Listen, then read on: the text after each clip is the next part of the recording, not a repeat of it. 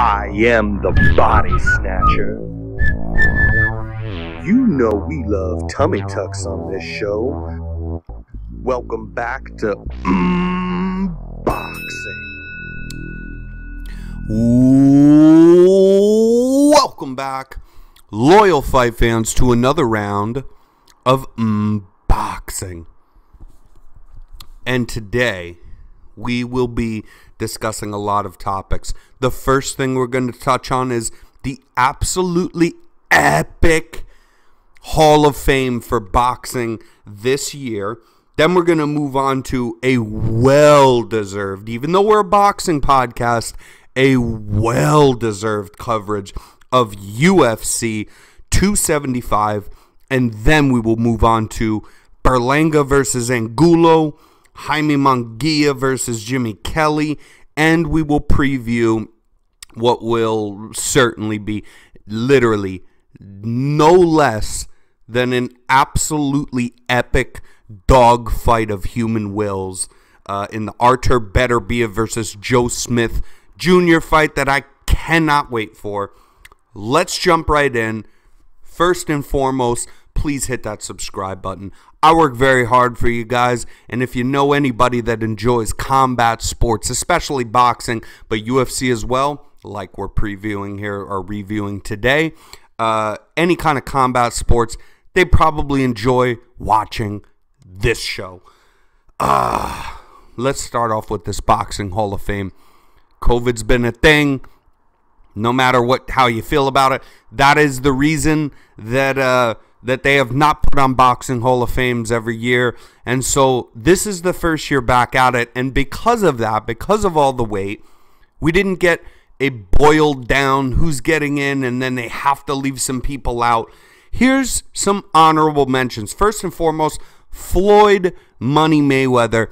And yours truly, Daddy's to do a short on that one uh, to, to, because I, I specifically want to touch on him and and and and his uh, Hall of Fame induction.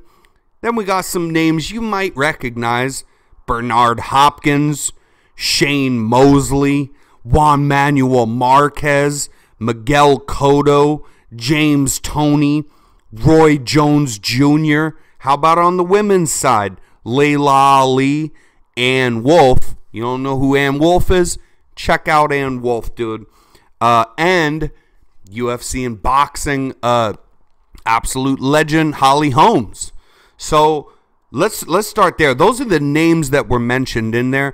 And as I said, we're gonna do a short uh, on on on the Floyd Money Mayweather uh, whole whole thing of being inducted to the Hall of Fame.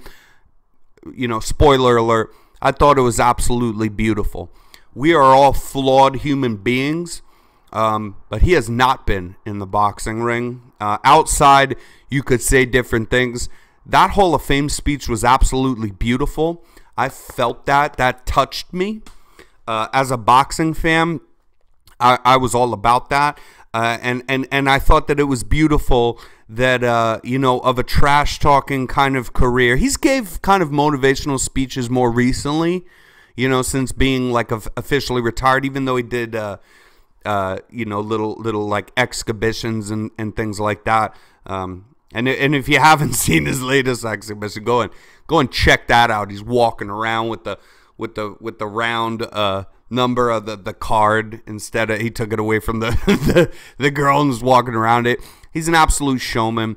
He's had his flaws as a human being, um, but he is an absolute legend in boxing. And I loved how he was humble how the whole thing was giving praise to his family and his friends and the people that helped him come up in the world and uh, giving absolute you know praise to so to speak his co-workers right?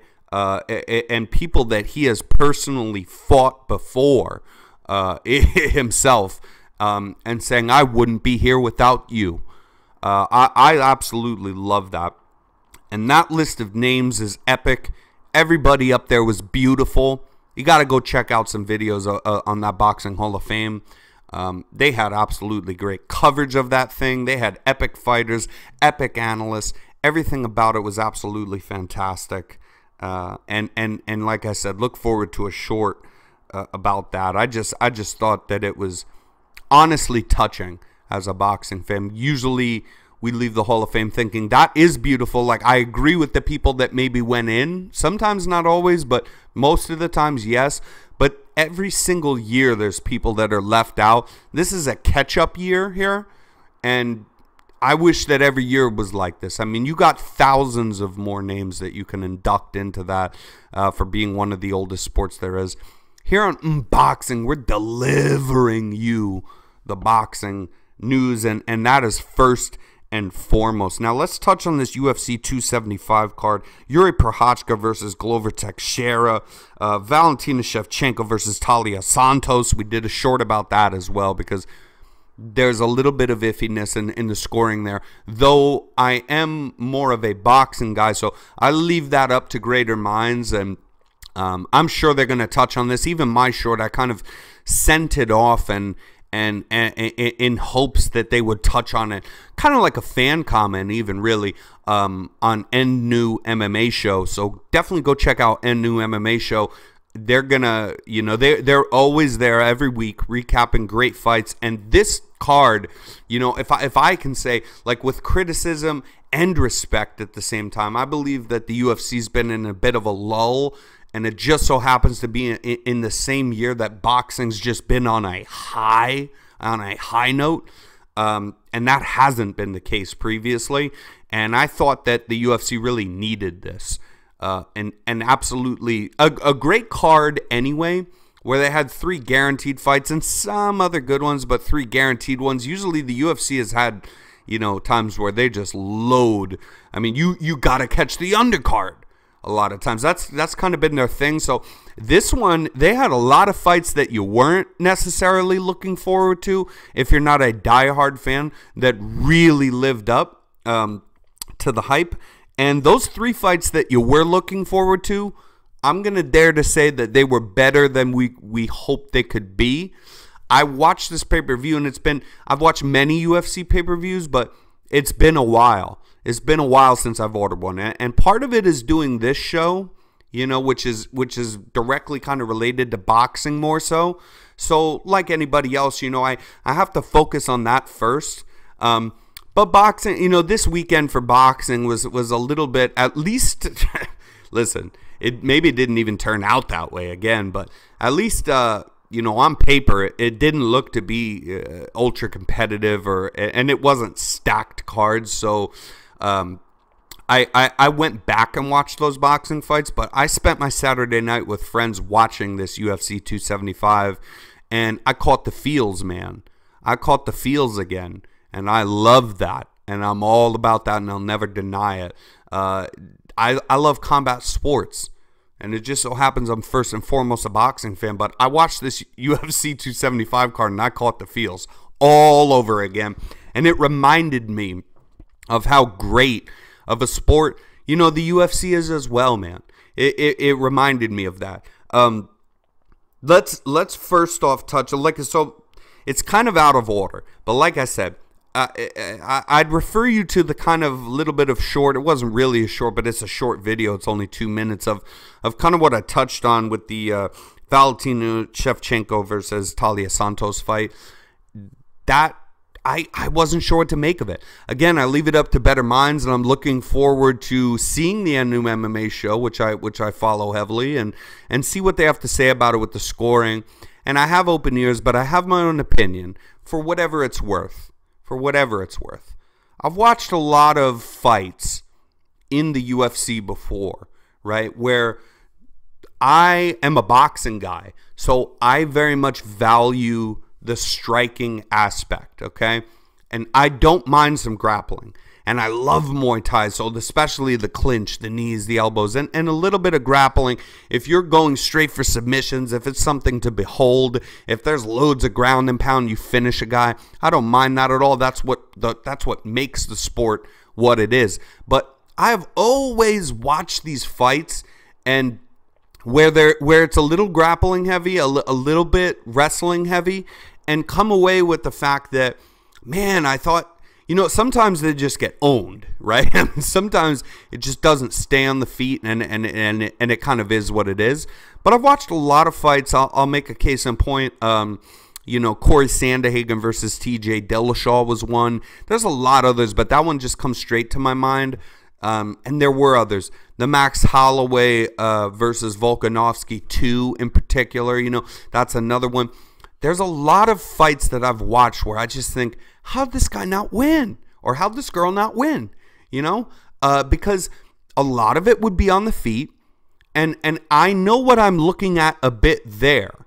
You know, I know what I'm looking at there, and I and I just think that's that's crazy because I I saw the person win right because of the striking. And then i recognize i don't have to be a fan of it. I'm a realist so i recognize it doesn't matter if i like it or not like there's there's a lot of, of wrestling so i can say ah yeah okay he got this round but he, he wrestled a lot and it was a little bit dull. I've seen a lot of these fights and that tj dillashaw sandhagen fight in particular um, it's not that i even take so much it, because overall i did think the fight was close okay um, but I thought that Sandhagen might have should have maybe won that fight because I think that's the perfect uh, reference to make uh, in touch with this Shevchenko Santos fight because it was kind of the same thing.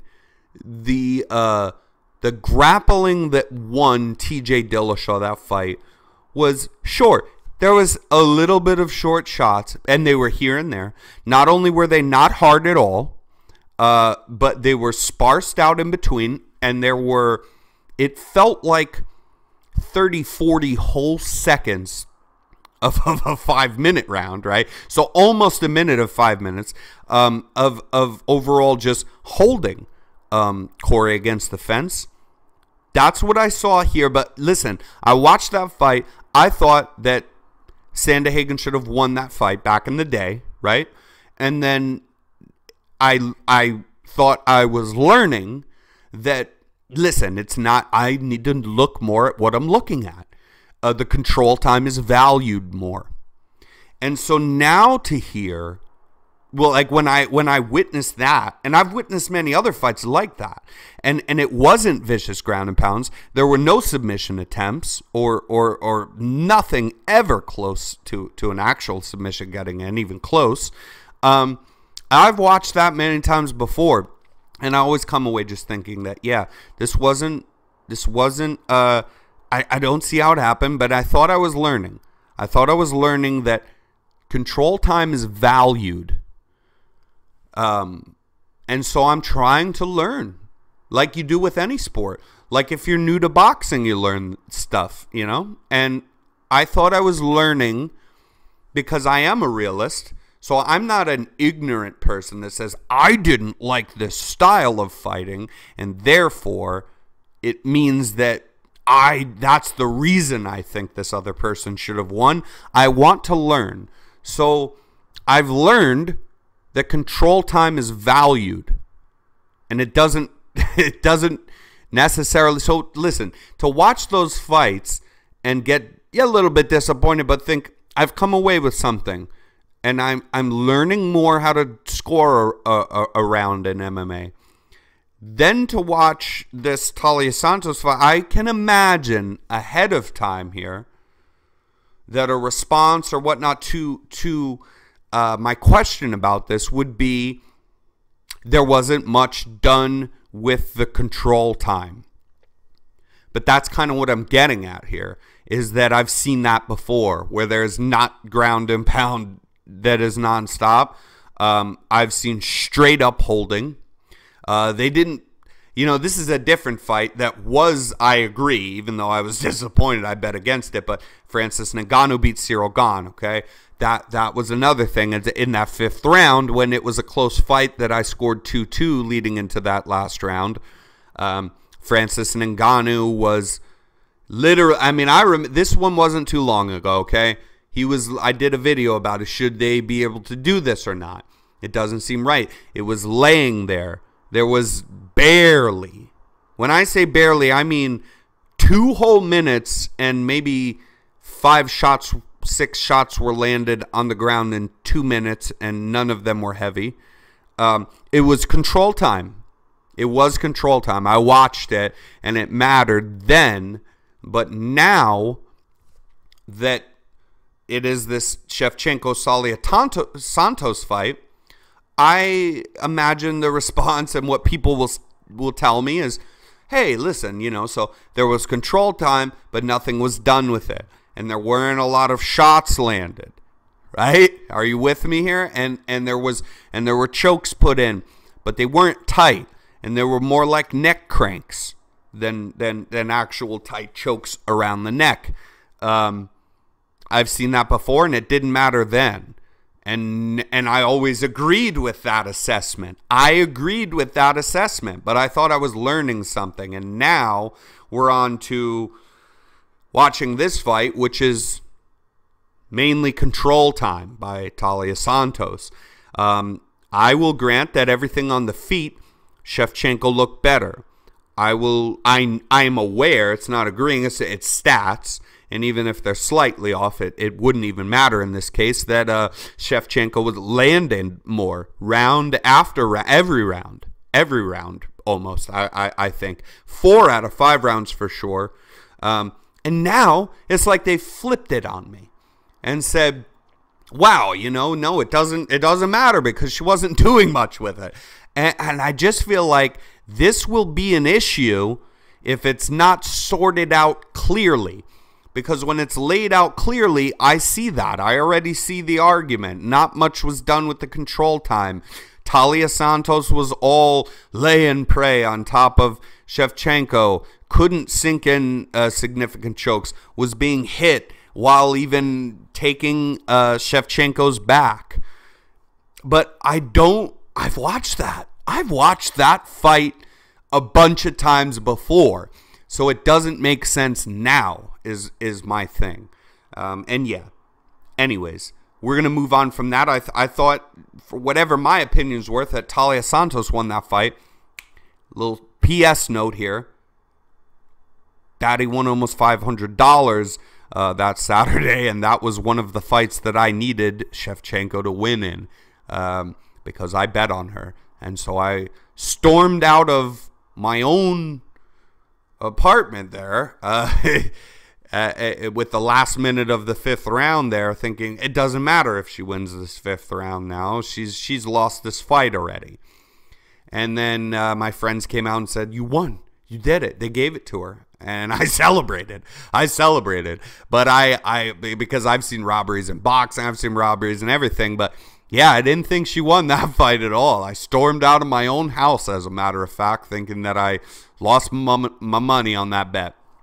Um, Let's go on to Joanna Jędrzejczyk versus Weili Zhang. Weili Zhang uh, absolutely brutally KOing Joanna Jędrzejczyk. I've never really seen her been done like that before. I know that one Rose fight, they've had two, and I know the one that didn't go the distance, she was TKO'd.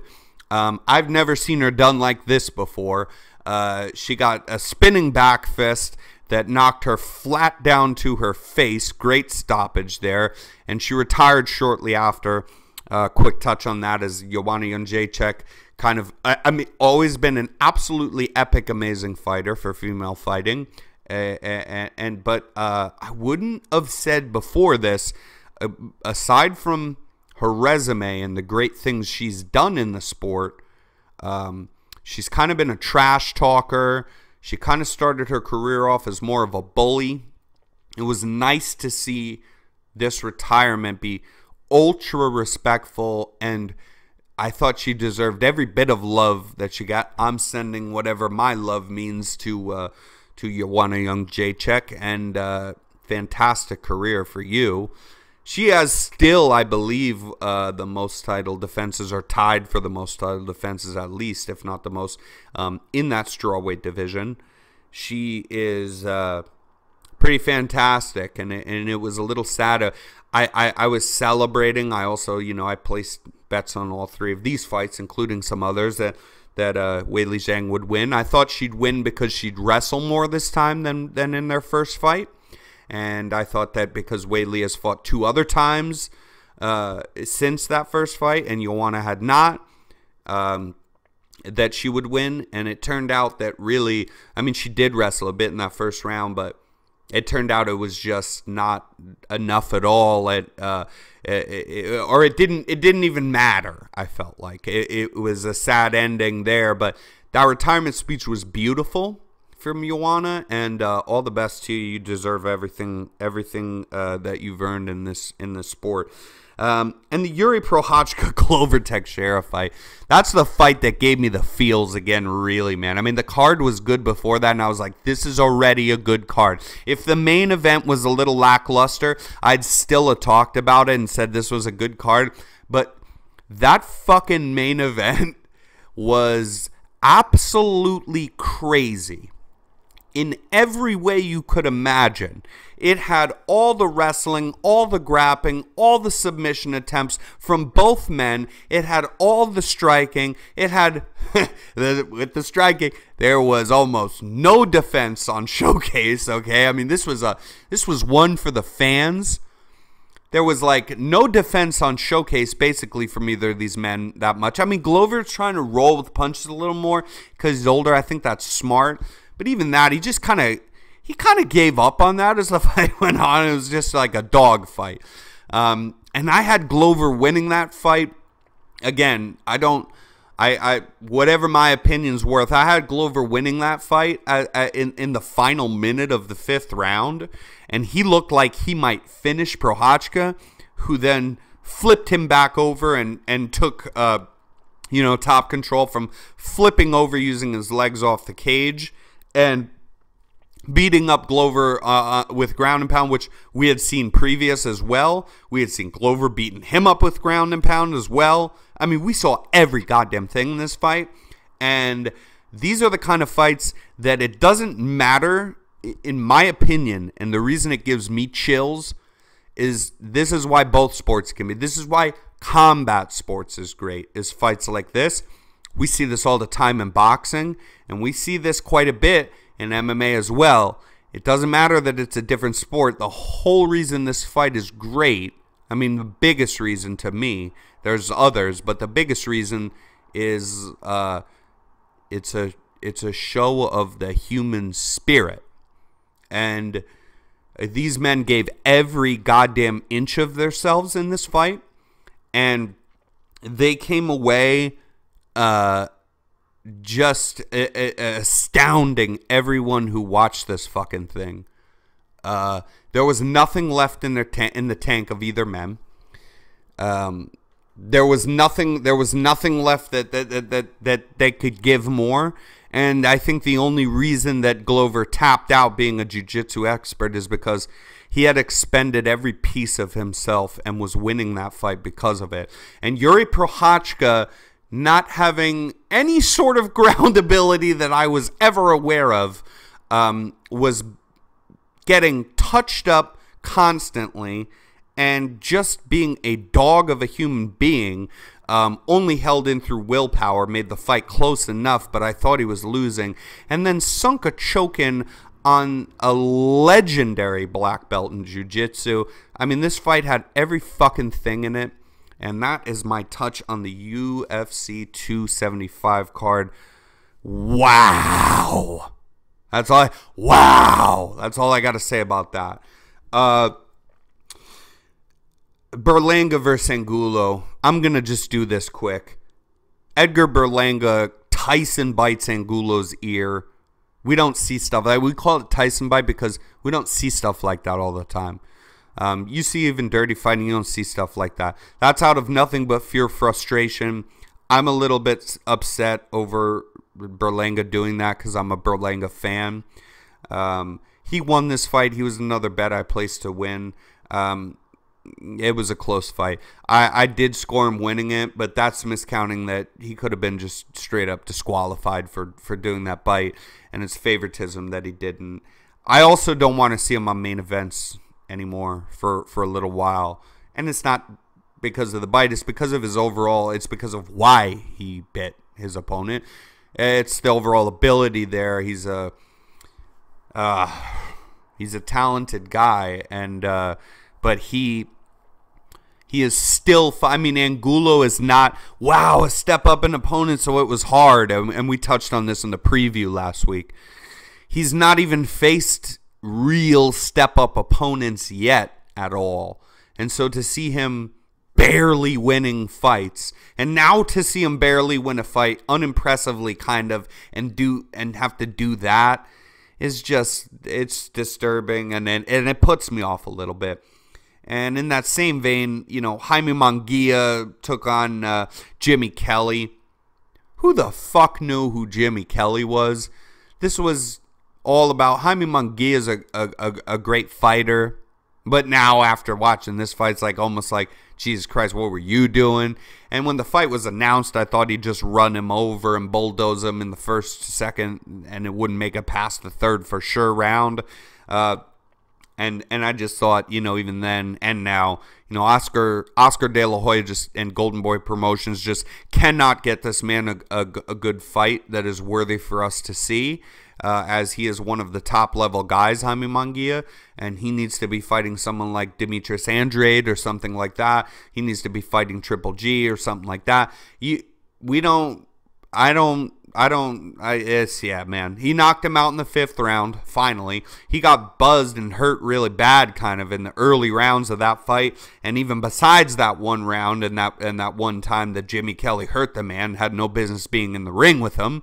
Uh, he also won other rounds against Jaime Munguia. So I don't know how to feel about that. It was kind of disappointing on both ends with the Berlanga Munguia thing. It's like you you you have to realize if you're going to put on a fight against an uh, with a great fighter, supposedly great fighter, against an opponent that no one knows of, and is like, why the fuck aren't we seeing a better competition in the, in a fight? That's this is like a weekend that's, like old boxing. I thought we are past that. We've been chattering on about how awesome boxing has been this is like old boxing. To see a fight that nobody wants to see because it's an A class guy versus somebody you never heard of. The guy who fucking drove him in the cab to the fight in the first place and then gets in the ring with him uh, and and you go and anybody that has that has fucking bought tickets to this thing or is watching it on TV is like, yeah, it's kind of it's gonna suck a little bit, but let's see if we see a vicious knockout, and then it's an uninspiring performance against a person. This is for both guys, you know, Berlanga and Munguia in, in, in their in their competition is is just off putting. It's off putting, and that's why we did a bigger coverage on the UFC 275 card this week. Um, and that's that. We're going to get back to good boxing now, and I can tell you that I know this fight won't let us down. I know that. I know that. I'm certain of it. Watch this fight this coming Saturday when Artur Beterbiev takes on Joe Smith Jr. Let's go Joe Smith Jr., first off, the Long Island Union man, the common man, as he called himself and was made famous when he fought Bernard Hopkins, an old Bernard Hopkins, who said, That's a common man, special man. Common man, fucking special man. And got sent through the ropes in one of the most vicious, probably the most vicious till that Michael Conlan fight happened, uh, sent through the ropes and landed flat on his head, you know, six, seven feet down um, by Joe Smith Jr. Joe Smith Jr. also then went on to uh, win a world title, a real world title, against an incredible opponent uh, in, in, his last outing, and now is uh, going to take on who is probably the best fighter, you know, short of maybe. Um, uh, uh, uh, short. Yeah, I, I, I I would listen. Uh, Bivol is a great. I was going to say short of Demetrius Bivol. He's great, but uh, I think he's still second. I think that Artur Beterbiev is, is the best.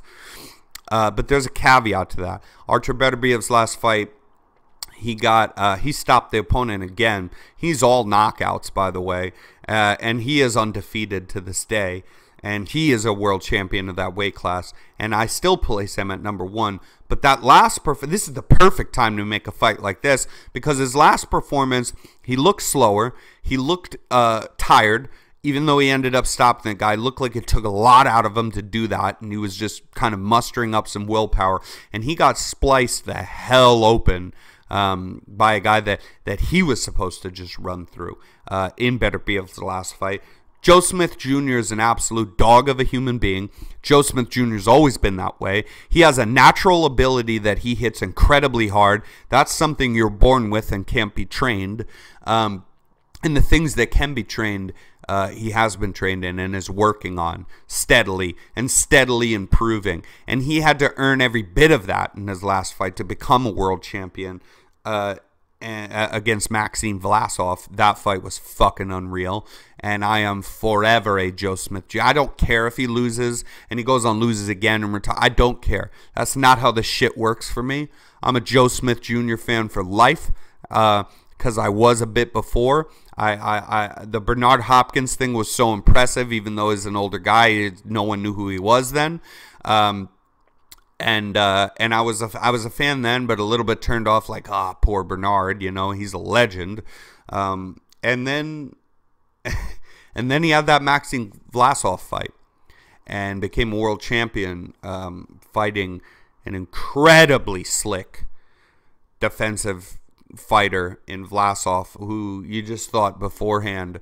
I mean, he and won as an underdog there. I'm forever a fan of his, and I have belief in Joe Smith Jr. And, and here's another thing: I, I I'm gonna give you like a better parlay, probably on a short or at least on the Instagram or something like that. Uh, mm, uh, underscore boxing, I believe it is something like that. Just look up boxing, you'll find that shit. Okay, uh, but yeah, I'm I'm gonna give you a better parlay as I always do. That's a little bit safer, but uh, you know we like it when we can pick a dog, and Joe Smith Jr. is an unreasonable dog in this fight because um, he should be the underdog, but the he's he's a he, he's an enormous underdog, and it shouldn't be that way. It should be closer than this. You're going to get a lot of plus money on Joe Smith Jr. just to win, period. Uh, and I think that he is fully capable of doing that. Uh, if yeah, getting cut wide open against a lesser opponent than Joe Smith Jr. in his last outing, looking more tired, not looking himself, not looking like the killer that he was, even though he ended up stopping the guy. He and and and besides the cut, he lost rounds as well, and and he just didn't look like the killer that he once was. And I believe in Joe Smith Jr. and his ability. I think he's picked up his boxing ability more, and I think that he is ready to go for this fight. I think that he is literally like a, a kind of, I don't want to get too romantic on you here, but I think he's literally a kind of a Rocky figure. And again, he could totally lose this fight, but you will bet your sweet ass. I wish they had a fucking gambling line on this. Joe Smith Jr.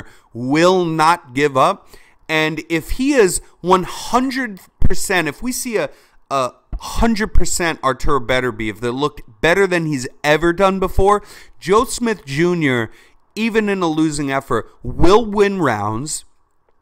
He will hurt Arturo Beterbiev, win or lose. He will hurt that man. He will hurt that man. And if he has to die in that ring to do so, I, I really mean this, dude. You you don't understand there's different kind of people and it doesn't matter who you like. He's an Arturo Gatti type.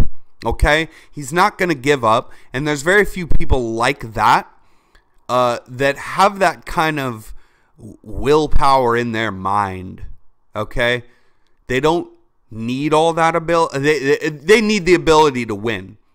And they, they need stuff like that. But they're born with the power and they're born with the passion and they will not be deterred um, by losing round after round after round. I, I really just am amped for this fight, man. You're going to see just two of the kind of best guys in that weight class, first off, for a unification of titles in a, in a great division in boxing. And you're going to see not boxing fun, you're not going to see slick boxing. You're not going to see technical boxing. You're going to see two uh, two bait dogs turn champions uh, put in there against each other. Two dogs with no new tricks. Uh, unless Joe Smith Jr.'s learned a, learned a couple. He's learned a couple, but he'll he'll he'll resort to what he does here. The, this is a match made in heaven for an absolute brawl. Um, and I'm going to love every minute of it. Let's go Joe Smith Jr., baby. Let's go the common man. And until next time, enjoy those fucking fights and prepare yourself for an absolute dogged war of two human beings that say, ah, we don't really care so much about the human side. We're going to show you why human beings are still a type of animal.